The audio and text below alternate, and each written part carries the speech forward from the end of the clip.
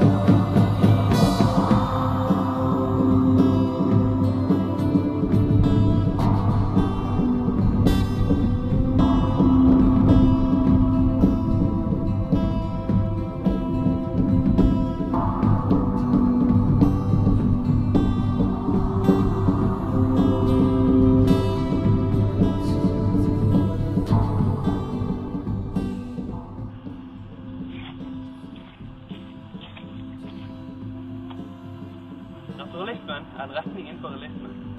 Den kom som en reaksjon på den foregående epoken, romantikken, og finner sted fra 1880 til 1890.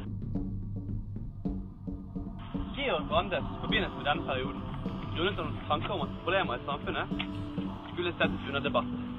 Naturalistiske diktere var opptatt av å fremstille skyggesiden i samfunnet.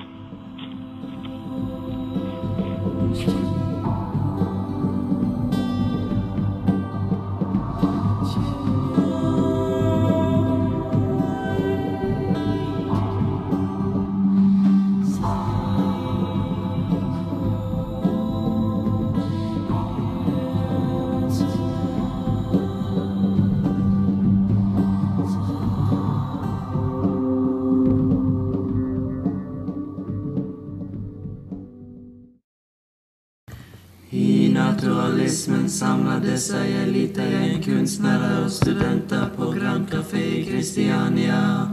De kalte seg Bohemen. De var spesielt kritiske til dobbeltmoral i samfunnet og de borgerlige normene.